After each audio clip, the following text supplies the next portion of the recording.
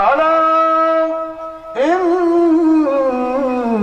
أولياء الله لا خوف عليهم ولا هم يحزنون. صدق الله مولانا العظيم وصدق رسوله النبي الحبيب الكريم. ونحن على ذلك لمن الشاهدين والشاكرين.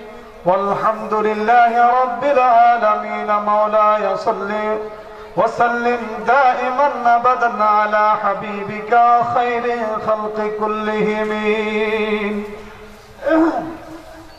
কেন চিনলি না রে মন কেন চিনলি না রে মন গোসল জমা জীবনারি মৌলানা কেমন আমার সাথে সাথে বলুন কেন চিনলি না রে মন? কেন চিনলি না রে?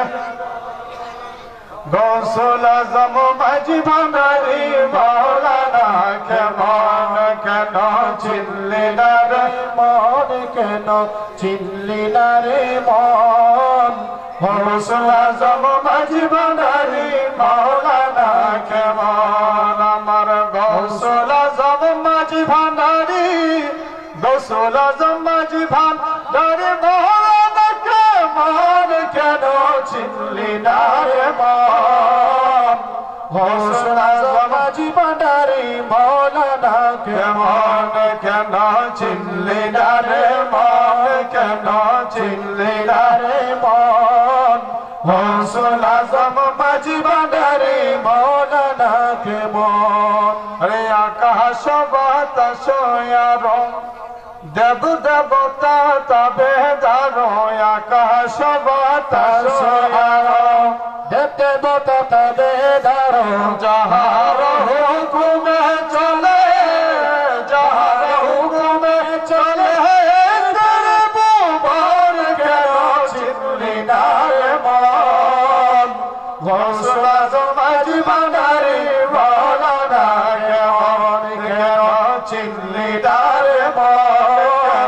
চিনলি না রে মন, ঘোষণা জমাজি বানারে বলা না কেমন মাশাল্লাহ মারহাবা। শুনতে ভালো লাগে?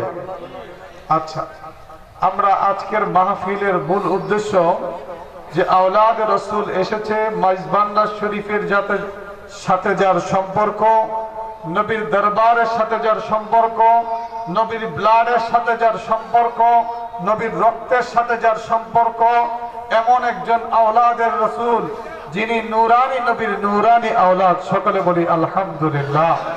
আমরা ওই আওলাদের নবীর চেহারা দেখলে কি হবে? আমাদের কি হবে? গুনাহ হবে না সব হবে? কেন সব হবে? কারণ সাহাবায়ে কেরাম অনেক ছিল। সমস্ত সাহাবায়ে কেরামের চেহারার দিকে তাকাইলে এবাদত হইতো না। কিন্তু একজন সাহাবা ছিল, এমন একজন সাহাবা যার চেহারার দিকে তাকালে এবাদত হইতো, বড় করে বলি সুহান আল্লাহ আপনারা কি জানেন ওই সাহাবাকে জানেন আপনারা? জানেন না। সেটা হচ্ছে মাওলা আলী ওয়াজহাহুল কারীম, বড় করে বলি, সুবহানাল্লাহ। মাওলা আলীর চেহারার দিকে তাকালে কি? আল্লাহ নবী বললেন যে, মাওলা আলীর চেহারার দিকে তাকানো এটা ইবাদত, বড় করে বলুন, সুবহানাল্লাহ। আর যিনি আসবেন, তিনি মাওলা আলীর নসলের, বড় করে বলুন না, সুবহানাল্লাহ। এই মাওলা আলীর ব্লাডের যাকে দেখলে আমাদের এবাদত হয়ে যাবে সুভান এখন শুধু এটা দেখলে না, এই যে আল্লাহ নবীজি আরেকটা হাদিস বললেন। জিক্রুল আম্বিয়াই ইবাদত, ওয়া জিক্রুস সালিহিনা মিনাল বড় করে বলুন না আলহামদুলিল্লাহ। যখন নবীগণের কোন ঘটনা বর্ণনা করা হয়, নবীগণের কোন কথা বলা হয়, এটা তোমাদের জন্য এবাদত হয়ে যায়। কারণ আল্লাহ সুবহানাহু ওয়া তাআলা কোরআনুল মধ্যেও বিভিন্ন নবীদের ঘটনা বলেছেন ওলিদের ঘটনা বলেছেন, যেটা জিকরুল আম্বিয়া বলছি, কোরআনুল কারীমে জিকিরগুলো আছে, এগুলো এবাদত হয়ে যায়। আর একটা এবাদত হয়, আরেকটা বিষয় আছে, তুমি ইবাদত দিয়ে সওয়াব অনেক বানাইছো। এবাদত করতে করতে তোমার সওয়াব অনেক হয়েছে, কিন্তু একটা পর্যায়ে তোমার আরেক দিকে গুনাহ আছে, সেই গুনার কারণে একদিকে এবাদতের পাহাড় আরেক দিকে তোমার গুনার পাহাড়, দুটোটা সমান সমান হয়ে গেছে। তোমার কাছে আর এখন কিছু অবশিষ্ট নাই। না, অবশিষ্ট থাকার জন্য আরেকটা জিনিস আছে, সেটা হচ্ছে আল্লাহর বলি বড় করে বলুন সুবহান আল্লাহ ওদিক দিয়ে জিক্রুল আম্বিয়া করে এবাদতের পাহাড় বানাবে। আবার জিক্রুল্লাহ যেই জিক্রুল্লাহর সাথে জিক্রুল আম্বিয়া আছে জিক্রুল নবী আছে, এটার সাথে সাথে আরেকটা জিকির আছে। সেই জিকিরটার নাম হচ্ছে জিক্রে আল্লাহ বড় করে বলুন, সুবহানাল্লাহ। এই জিকির যদি করা হয়, এটা কি হবে? তোমার আমার যে গুনাহ হয়, সেই গুনার কাফফারা হয়ে যাবে। অর্থাৎ সওয়াব যা করবে, তা থেকে যাবে। গুনার কাফফারা, অর্থাৎ গুনাহ মুছে যাবে।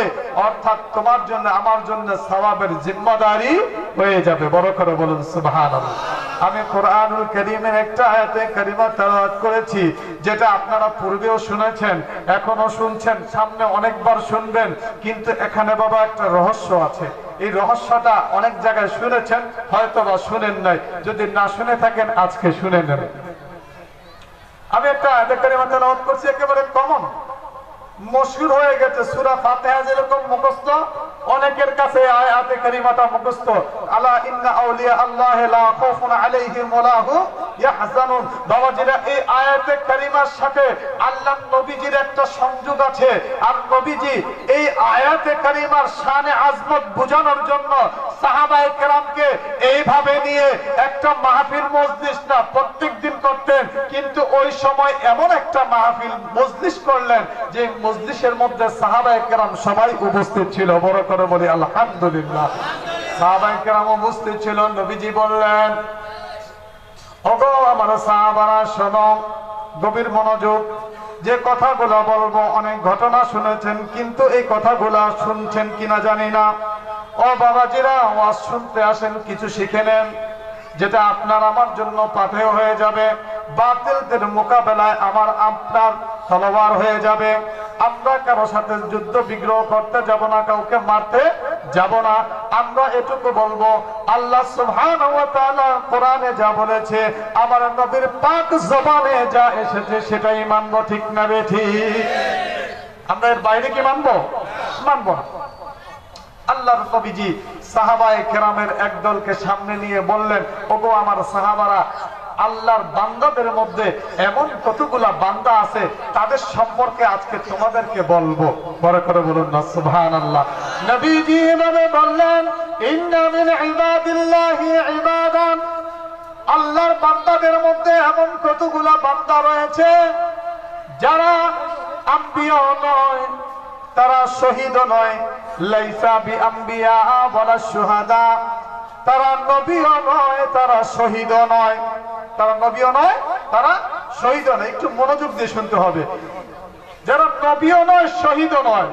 আল্লাহ নবীজি বললেন, ওই লোকগুলার মর্যাদা হাসরের ময়দানে এমন অবস্থা হবে, এত বেশি মর্যাদা পূর্ণ হবে, যখন মানুষজন সকলে নফসি নফসি করতে থাকবে, মানুষজন ছোটাছুটি করতে থাকবে, কেউ কারও আপন থাকবে না, একজনকে দেখে আরেকজন পলায়ন করবে, বাবাকে দেখে মা পলাবে, মাকে দেখে ছেলে পলাবে, ভাইকে দেখে ভাই পলাবে।